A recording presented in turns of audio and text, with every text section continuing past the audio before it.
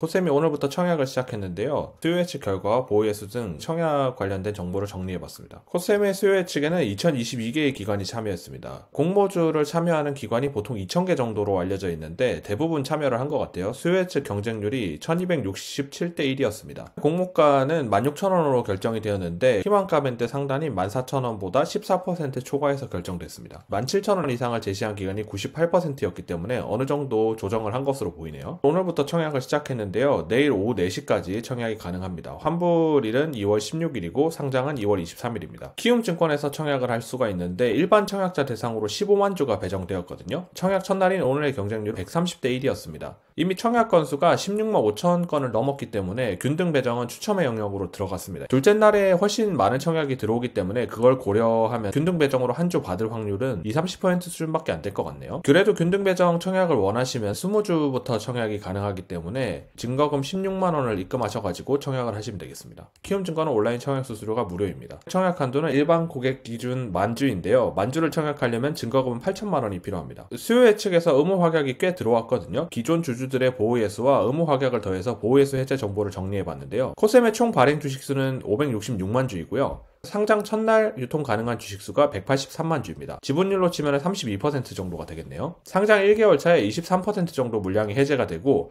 그 이후로 1개월마다 6% 8% 물량이 해제가 됩니다. 우리 사주 물량이 1년차에 해제가 되고 2년차 3년차에 최대 주주의 물량이 해제가 될 예정입니다.